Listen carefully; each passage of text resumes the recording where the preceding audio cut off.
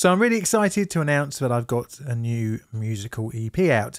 This one is delving into the world of vaporwave and soft music. It's out on cassette tape as well as digital download. So check it out on my Bandcamp. So thank you for listening to my little bit of shameless self promotion.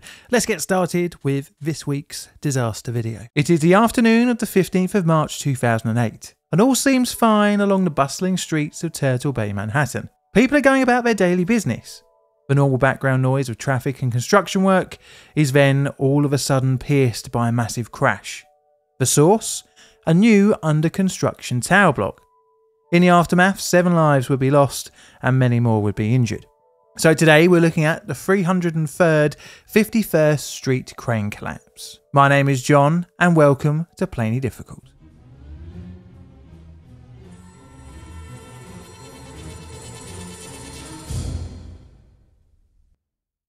A new tower and its crane. So normally for a Plainly Difficult structural collapse video, it's the building being built that is the failure point, but today it's the thing that's helping build the building itself. For the purpose of our story, the crane is intertwined with the building project, which is a new residential tower block in New York City.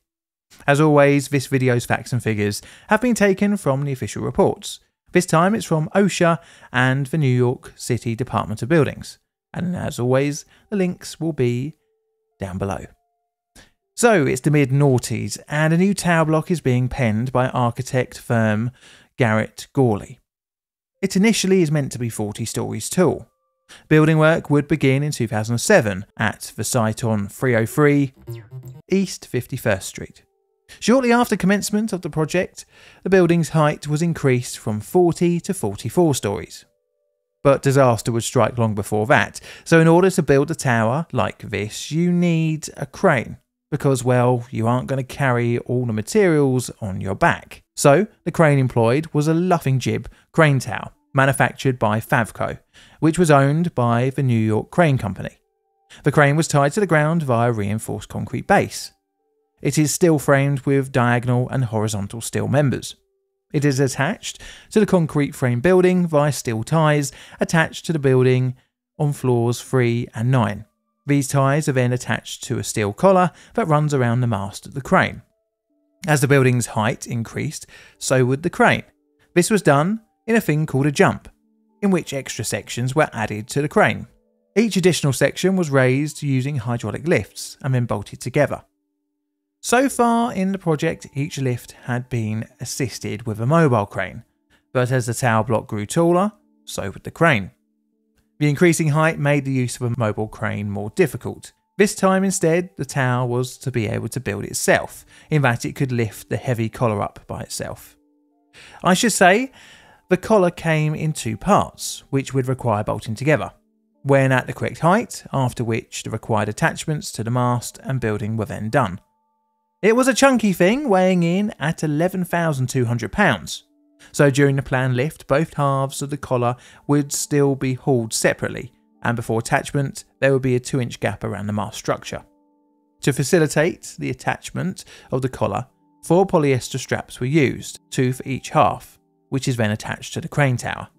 Now, this plan was flawed. The number of straps was half of what the crane manufacturer specified. So, we're now onto that part of the video. Let's jump to the 15th of March 2008 the disaster. Time to grab out your bingo card. As a quick side note, if I made up physical versions of this, would you be interested in buying it? Anywho, it is of the 15th of March 2008 at 303 51st East Street. The morning has been rather uneventful. Building work is pouring concrete on the 19th floor, and it's all going to plan, with formwork in place a couple of floors below. The crane had been that morning jumped and the aforementioned tying to the structure was being prepared. Two halves of the collar for the 18th floor were hoisted up to its intended place. This was around about early afternoon. Once both halves were in place, workmen levelled them out and bolted them together with the eight required bolts. So everything looked good. Workmen on the crane began to line up the tie beams to attach one to the collar halves. They had three to install.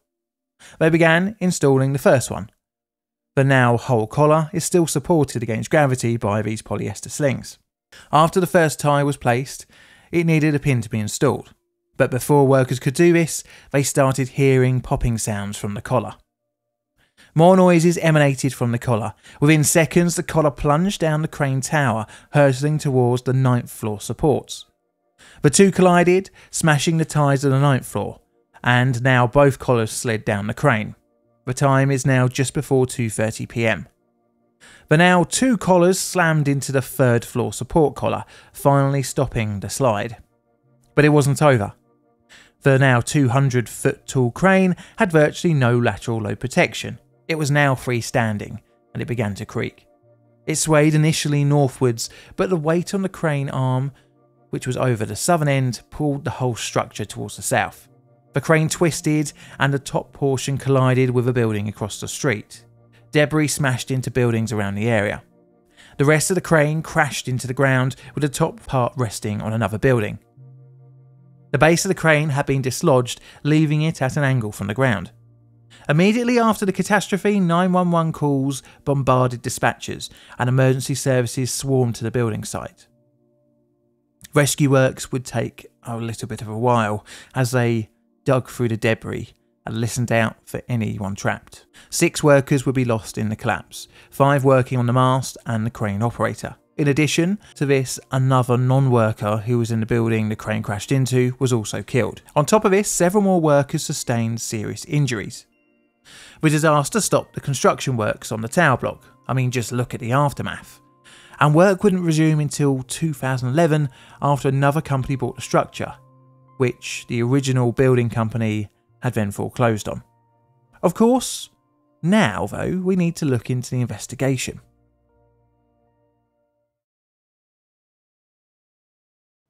The investigation. So, a number of different government bodies were involved with the investigation, most notably OSHA and the New York City Department of Buildings. The latter would use OSHA's experiments into the polyester slings. I should say that interviews with surviving workers helped zero in investigators to the spark of the disaster. This was the slings used to hold the collars in place during installation. It quickly became clear that workers were not following the manufacturer's guidelines for the install. But then why did the slings fail after and not during the bolting of the two collar halves? After inspection of the slings, it was found that one of them must have been severely degraded before it was used for the collar hold. It was showing UV damage and general wear. It was also found that workers had attached the slings to the wrong lifting points, which allowed them to run against the crane, wearing away at the 2 inches of girth the slings had. The seating of the slings around the tower mast near the diagonal members pushed the polyester into a V shape, which also reduced its load carrying capacity. To add more fuel to the fire, only four slings were used instead of the required eight, which after testing showed that just one failure of a sling could cause the whole arrangement to fail, like it did on that fateful day. OSHA would conclude in its report 1. The choice of using polyester slings to suspend the collar at four points was questionable, as they are subject to large elongations under tensile loads, thus creating a need to constantly monitor and level the collar. The collar was rigged improperly, in that the slings used to suspend the collar were choked around the vertical legs of the crane mast and were seated in the V shaped groove between the angle bracing and the flange of the crane mast leg. This significantly reduced the load carrying capacity of the slings. The slings were not protected against sharp edges for cuts and abrasions. A deteriorated sling, which should have been discarded if proper inspection of the sling was done prior to its use, was used to suspend the collar. The crane raised the collar from the ground, hoisting it at locations different from the crane's manufacturer's recommendations. This led employees to suspend the collar from locations above which there was no horizontal members. This resulted in choking of the slings around the legs of the crane mast. Each collar half was suspended at two points instead of at four points as recommended by the manufacturer. There will be a little bit of a scandal as well, as the building site had racked up a number of OSHA violations during its operation. And after a number of complaints, a Department of Buildings inspector was dispatched to look at the crane. Interestingly, no issues were reported. This was just a few days after the disaster. But it would come out that the inspection never took place, and the report had been fraudulently written. He would be later arrested and charged for falsifying documents.